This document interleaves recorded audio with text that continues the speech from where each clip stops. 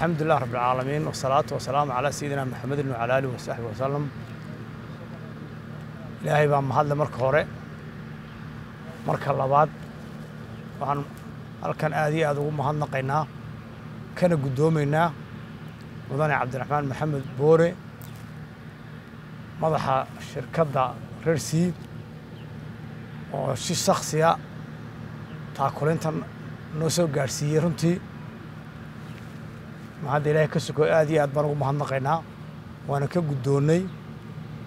Iyadoo runtii aan u arkayno nin u soo naxay ummadda reer somaliland maanta ee dhibaatadu ka soo gaadhay xag saamaynta dhaqaala xanuunku sida kale aanu aad u badnayn laakiinse saamayntiisa dhaqaaluhu maanta ay aad iyo aad caalamka iyo innagaba ina saamaysay runtii.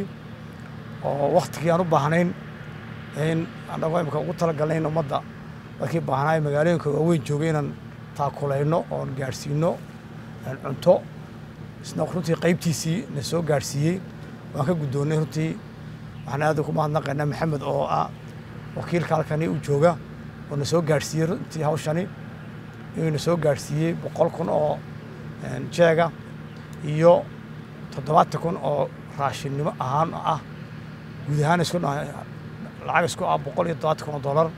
Waan ka guddoonnay aad iyo aadna waan ugu mahadnaqaynaa waxaana ka filanaya cid kasta oo maanta ilaahay wax siiyey oo dhaqaalo haysata inayna maanta shacabkooga ka hagranin.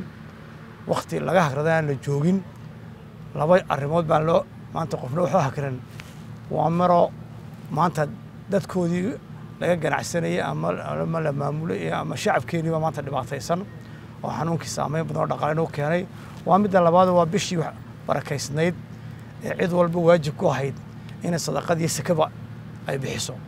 Marka waxaan ugu baaqaynaa dhammaan ummadda muxsiniinta ah ee maanta dhaqaala haysata mid mid mid fardu haysta iyo mid shirkadnimo haystaba inay runtii taakulaynta ay la soo degdegaan oo dadka maaragtay aynu wax gaadhsiino intaa muddada ciidda ka horeysa inaynu wax gaadhsiinayaan iyo aynu diyaaru nahay aad iyo aad baan u mahadsantihiin dhammaantiin asalaamu calaykum waraxmatullahi wabarakaatu